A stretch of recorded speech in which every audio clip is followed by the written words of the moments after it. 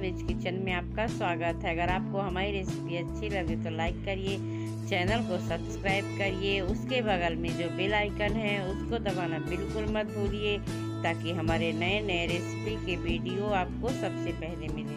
मोदक की रेसिपी आपके साथ शेयर करने जा रहे हैं। सामग्री देख लेते हैं क्या क्या लगती है। मावा, दूध, घी शुगर नारियल, मैदा, काजू, बादाम और चिरौंजी दाना। पहले हम मैदा का डो लगाकर तैयार करेंगे तो इसमें डालेंगे एक परात में मैदा। अब परात या डोंगा कुछ भी आप ले सकते हैं अपने हिसाब से, और इसमें डालेंगे थोड़ा सा घी। घी डालेंगे मोवन के लिए, और इसको अच्छे से थोड़ा सा मसल लेंगे। घी को अच्छे से इसमें मिक्स कर लेंगे। ये देखिए, पहले अपने दोनों हाथ को धो लीजिए, इसके बाद इसको अच्छे से दोनों हाथ का यूज़ करके इसको इस तरह से इसकी गुठलियाँ तोड़ तोड़ करके इसको अच्छे से मसल लेंगे। ये मोवन हमारा इसमें अच्छे से मिल चुका है। अब हम इसमें थोड़ा थोड़ा पानी ऐड करके इसका डो तैयार करेंगे। थोड़ा सा पानी डालेंगे। इसमें थोड़ा थोड़ा पानी ऐड कर करके इसका पूरा अच्छे से डो लगा करके हम तैयार कर लेंगे। ये हमारा मैदे का डो लग करके तैयार हो गया है। अब हम इसे ढक करके रख देंगे और चलते हैं आगे की प्रोसेस में। गैस जलाएँगे और पैन को थोड़ी देर गर्म होने देंगे। कढ़ाई गर्म हो गई है, इसमें डालेंगे घी। घी हमारा गर्म हो गया है।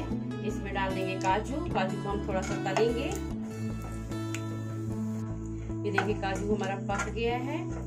अब बादाम डालेंगे इसी में। गैस को मद्दी, गैस हमारी मद्दी है। बादाम को भी एक प्लेट में निकाल लेंगे। अब डालेंगे चिरौंजी दाना। चिरौंजी दाना बहुत कम लिया है, थोड़ा सा। अब इसे भी एक प्लेट में निकाल लेंगे। अब नारियल इसे भी पका लेंगे। ये देखिए, नारियल भी हमारी भून चुकी है, इसे भी एक प्लेट पर निकाल लेंगे। और हमें सारे मसालों को हल्का हल्का लाल करना है, पूरा अच्छे से नहीं वो करना है। ये देखिए, इसी में डाल देंगे मावा, और थोड़ा सा डाल देंगे दूध।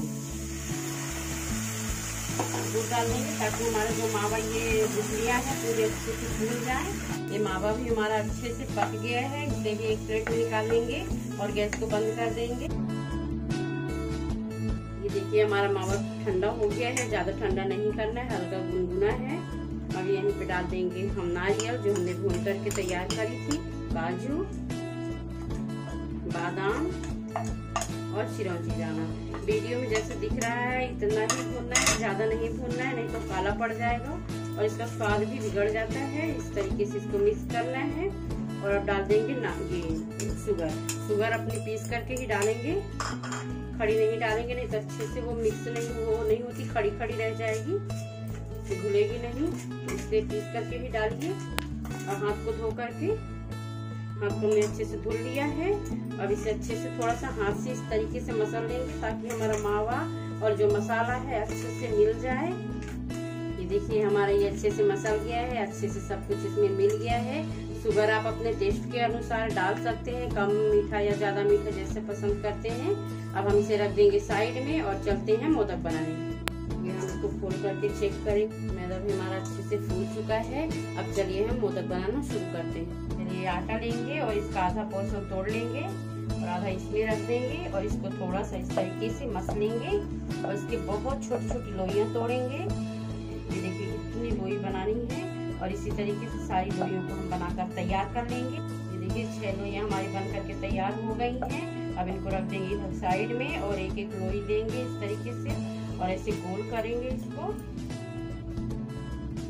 और सूखा आटा लगाएँगे थोड़ा सा और इसको बेल लेंगे ये देखिए, हमारी इतनी छोटी पूरी बन करके तैयार हो गई है। ये देखिए, इसको इस तरीके से करेंगे। जो, ये फिलिंग तैयार करी है इसको भर देंगे इसमें। बिना सांचे के हम मोदक बना रहे हैं और इसको इस तरीके से चुन्नट बनाएँगे।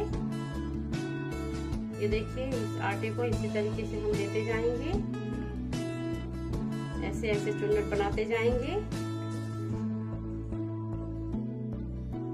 ये, और इन सारों को मिला करके जो हमने ऐसे चुन्नट बनाई इनको सबको मिला करके एक इस तरह जोड़ देंगे। और ये देखिए, हमारा मोदक बन करके तैयार हो गया है। लग रहा है ना बिल्कुल मोदक की तरह? ये देखिए, बिना सांचे के है। इसी तरह हम सारे मोदक बनाकर तैयार कर लेंगे। ये देखिए, हमारे मोदक बन करके तैयार हो गए हैं। जितना हमने आटा लगाया था और जितनी हमारी फिलिंग थी, उसमें से 11-12 मोदक बनकर तैयार हुए हैं। चलते कढ़ाई है। इसमें तेल डाल दिया है। अगर आप चाहें तो इसमें घी भी डाल सकते हैं। और गैस ऑन कर देंगे तेज फ्लेम में और तेल को थोड़ी देर गर्म होने देंगे। ये देखिए थोड़ा सा आटा डाल करके चेक करेंगे तेल गर्म हो गया है कि नहीं। ये देखिए तेल गर्म हो गया है। हमको इतना ही गर्म तेल चाहिए और गैस को मद्दी कर देंगे क्योंकि मद्दी आँच पे हम पकाएँगे अपने मोदक। अब अपने मोदक डालेंगे।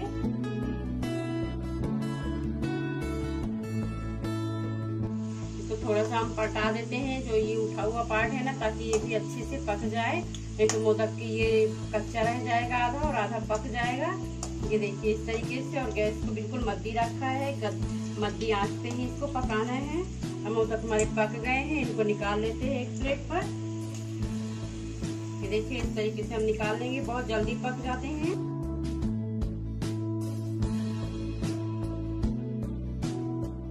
चार मोदक हमारे पक गए हैं, पककर तैयार हो गए हैं। इसी तरीके से हम सारे मोदक को पकाकर तैयार कर लेंगे। ये हमारे स्वादिष्ट मोदक बनकर के तैयार हैं। गणपति बप्पा को भोग लगाएँगे।